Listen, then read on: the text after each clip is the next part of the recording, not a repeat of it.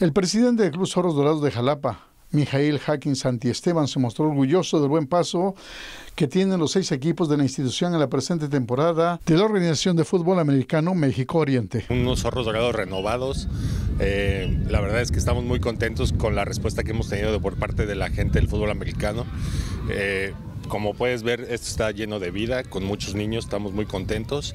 Y una temporada en Ofamo que afortunadamente por el esfuerzo de coaches, padres de familia y jugadores vamos muy bien. Hacking Santi Esteban desde los seis años empezó a practicar el fútbol americano en la pandilla urinegra en los tiempos del coach Javier Escobedo, allegándose recursos a través de patrocinadores y apoya a los jugadores becados y el fin de semana tendrán salidas importantes y esperan el clásico Antomechicas de la Universidad del Conde. Eh, jugamos contra Tritones en Veracruz, visitamos a los aztecas en Puebla, vamos a Corsarios el sábado a México y el domingo pues esperemos que, que, se convierta ya en un clásico contra Mexicas, eh, solamente una categoría juega el domingo.